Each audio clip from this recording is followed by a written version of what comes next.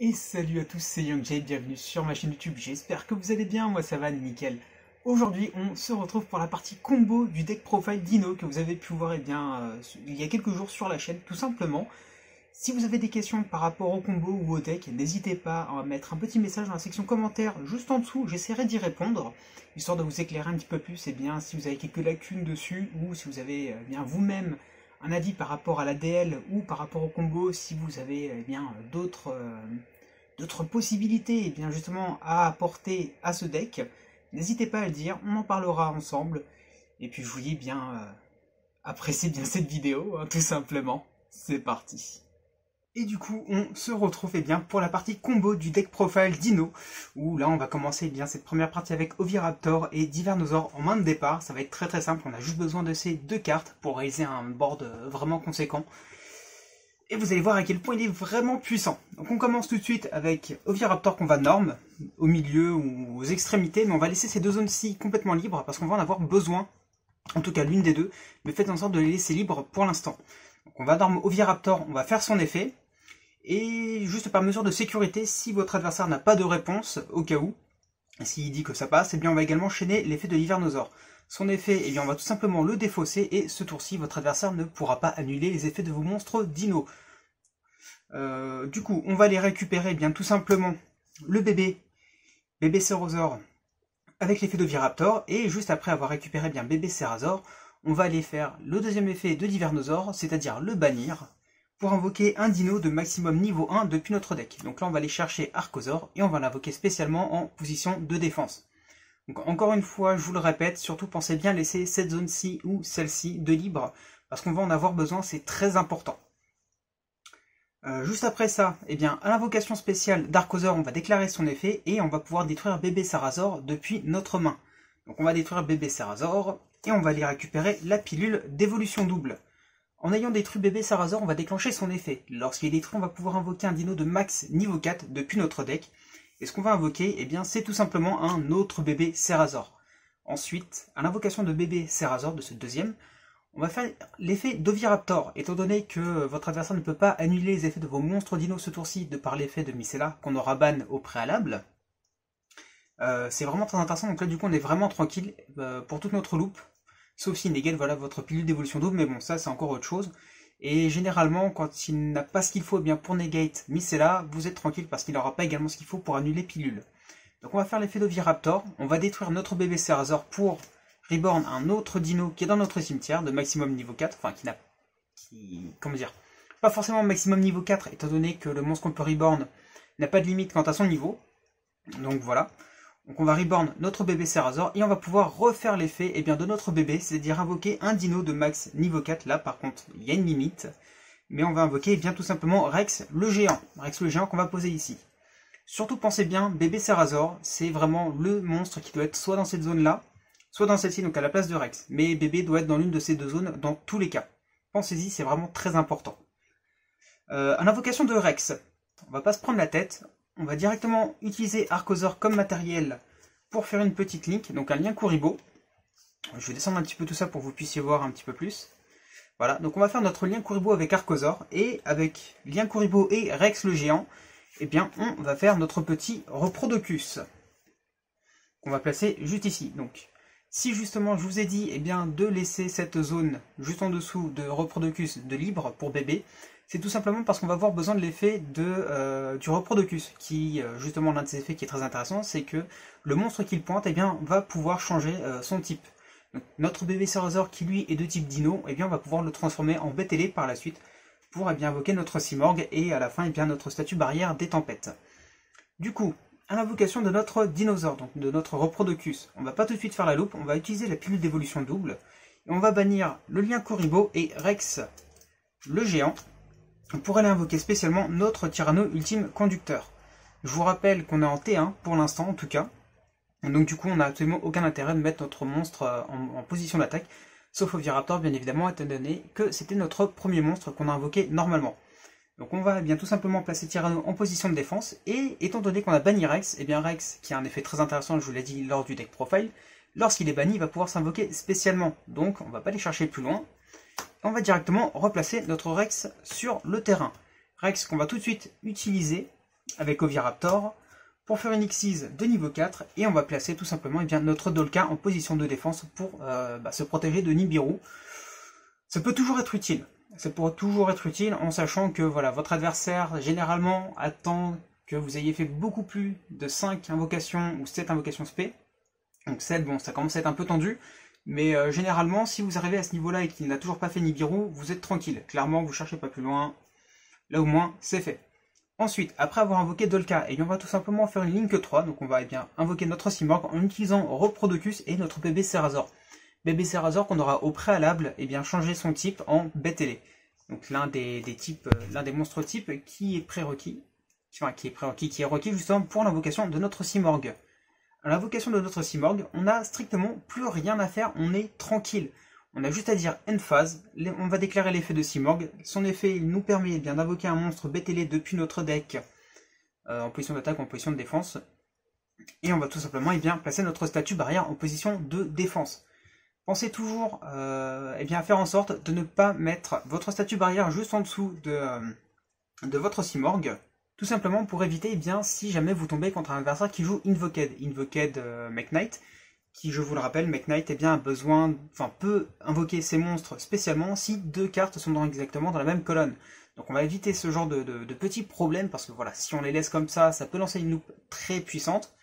Donc on va tout simplement bien poser notre statut barrière dans une des deux zones qui reste encore libre. Et à ce niveau-là, euh, bah vous, dites, vous, êtes en une phase, donc forcément vous avez fini votre tour. Et si votre adversaire eh arrive à passer ce board, euh, c'est pas très bon, c'est pas très bon pour vous, mais bon, à moins qu'il ait Dark Cooler No More euh, en main de départ ou euh, je sais pas moi, Lightning Storm par exemple, il aura très peu de chances de pouvoir placer ce board. Là, vous avez déjà une negate avec Dolka pour annuler l'effet d'un monstre et détruire le monstre en question.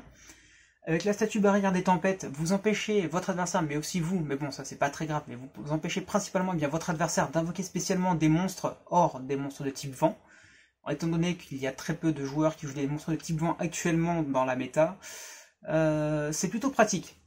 Sans parler de l'effet du, euh, du, Tyranno Ultime Conducteur, et eh bien tout simplement hein, qui permet de détruire un monstre sur votre terrain ou dans votre main, et euh, bah, tout simplement de face down tous les monstres de votre adversaire. Donc ouais non franchement c'est plutôt pas mal. Donc là c'était juste le premier combo avec seulement deux cartes, on est parti seulement avec Oviraptor et, et avec Mycela, on a fait un bon board, franchement on est tranquille. Du coup, pour ce deuxième combo, eh bien, on va partir avec Bébé Sarazor en main de départ et Divernosaur, encore une fois avec deux cartes. Et là, techniquement, c'est un petit peu plus compliqué, mais on va quand même pouvoir réussir eh bien, à faire un board assez conséquent.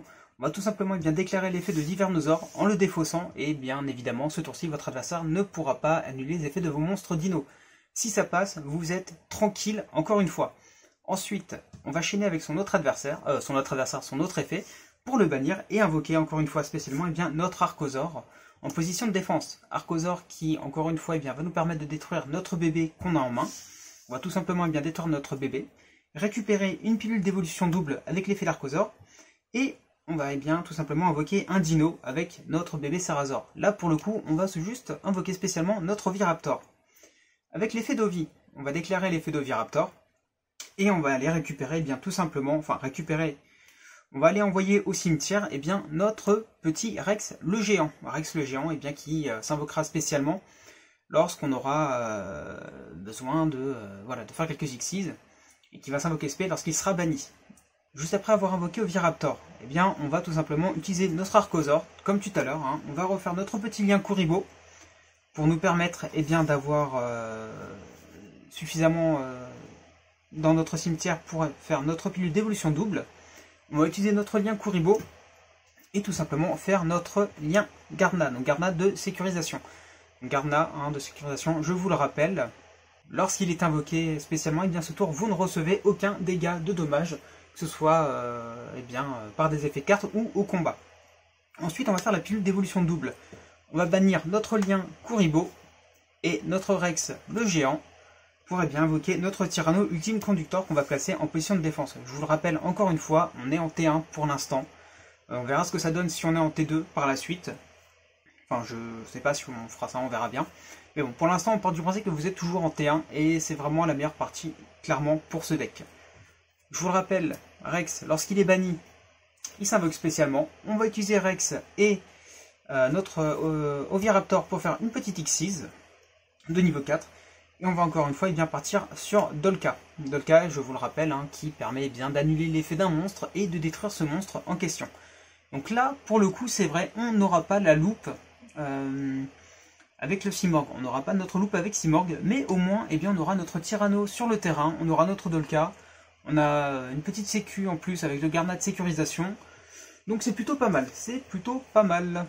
Cette fois-ci, on va partir avec Oviraptor et recherche de fossiles. Clairement, si vous avez ces cartes, c'est également du gratuit. Hein. Encore une fois, on ne va pas se prendre la tête. Par contre, vous ne commencerez pas eh par invoquer euh, votre, euh, votre Oviraptor, vous allez faire recherche de fossiles. Si jamais votre adversaire a de quoi c'est-à-dire une hache euh, ou, autre chose simplement qui va vous empêcher de piocher, c'est toujours bien de le faire passer sur recherche de fossiles plutôt que sur Oviraptor. Donc on va faire recherche de fossiles, on va tout simplement aller chercher eh bien, notre Divernosaure. Divernosaure, je vous le rappelle, eh bien, nous permet tout simplement eh bien, d'éviter que nos monstres dinos aient leurs effets d'annulés par votre adversaire, et également eh bien, d'invoquer SP des dinos depuis votre deck. Ensuite, on va invoquer normalement, encore une fois, notre Oviraptor, on va déclarer son effet, aller chercher bébé, défausser Divernosaure, le bannir, repartir avec Archosaur, et on repart exactement sur la même loupe euh, du début, pour bien replacer encore une fois notre Simorg, notre statue barrière vent, notre Dolka, et notre Tyranno Ultime Conductor. Cette fois-ci, on va partir avec Monde Perdu, Recherche de fossiles et Bébé Cerazor. Euh, là, pour le coup, c'est un petit peu plus compliqué, étant donné que voilà, on n'a pas, on n'a pas Mycella, on n'a pas Oviraptor en main de départ, on n'a pas de pilule d'évolution double. Euh, c'est un petit peu plus complexe, mais on va tout simplement eh bien le fait d'avoir recherche de fossiles, comme tout à l'heure, on va faire recherche de fossiles. Si ça passe, on va récupérer notre petit Oviraptor, Oviraptor ou, euh, ou Mycella, dans tous les cas. L'un des deux. Dans tous les cas, vous allez chercher l'un des deux. De préférence Oviraptor, car avec Oviraptor, vous allez pouvoir aller chercher Mycella. Mais si vous pensez que votre adversaire a de quoi, eh bien, euh, je sais pas moi, par exemple, euh, un Veiler, par exemple, euh, dans sa main de départ ou une Ghost Ogre, je pense que vous allez plutôt aller privilégier la recherche de Mycella, donc d'Ivernosaur. Mais là, là, on va partir du principe qu'on récupère Oviraptor. On va récupérer Oviraptor, et juste après ça, eh bien, on va activer le monde perdu. Monde perdu qui nous permet eh bien, de placer un token sur le bord de notre adversaire lorsqu'un monstre dino est invoqué sur notre terrain. Ce qu'on va immédiatement pouvoir faire, étant donné qu'on va invoquer notre Viraptor, on va déclarer l'effet de Viraptor, chaîner le monde perdu, le monde perdu va se résoudre, et on va pouvoir placer un token sur le bord de notre adversaire. Ce token qui va être invoqué sur le terrain de votre adversaire va vous permettre d'avoir une certaine protection étant donné que eh bien, vos monstres dino ne pourront pas être ciblés par des effets de cartes. Donc c'est vraiment nickel pour le coup. Et ensuite, eh bien, on va simplement aller récupérer Divernosaur avec l'effet d'Oviraptor.